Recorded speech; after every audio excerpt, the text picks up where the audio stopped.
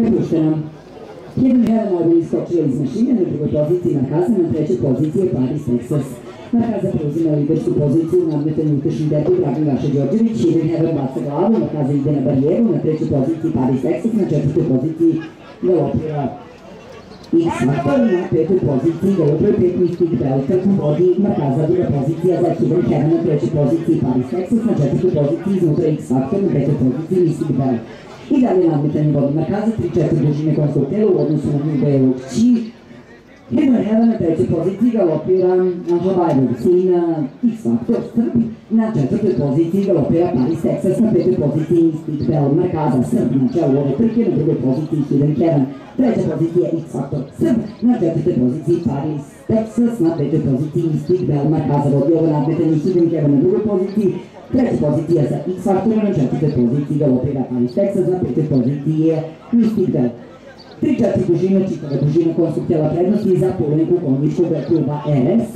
Markazu Srb na drugoj poziciji kao da već pokušava da poješe i da pokrene uh, himn Heaven Rocky Govan. Nešetović na trećoj poziciji galopira i Factor Psrb, na četvrtoj poziciji Paris Texas, na petoj poziciji Iski Bell. Tri četvrti na polsku telo dalje pokazali Mirane Dokiže Kulić, Beb Dokiže Dokiže Četić, Morot, Gradinić i Vrgeni. precum Robi, lucrează din producția sa, privind probleme precum producții de operă X-Factor Sârb, înapoi de producții izotelistici, dar spune de operă Paris, Texas, precum Robi lucrează în operă, în casa era muzică prorog, curată operăza în cazul, privind probleme de producție, oficiul vorbi, de drumul necesar X-Factor Sârb, Srb, će dobiti Markaza. Srb na drugoj poziciji, Hidden Heaven na trećoj poziciji, Factor Srb, sve zaočeti imena za opet to Srb, Markaza, Srb našetala, Hidden Heaven druga, X Factor će očeti treći, na četvrtoj poziciji, Mystic Bell, peta pozicija, Paris Texas.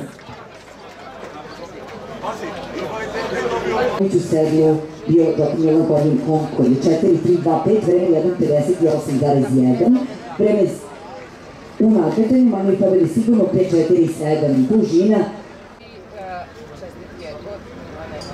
Trku je dobila Markaza Srb, Markaza Lakći, u serbu bio Željko Ilić i Milić.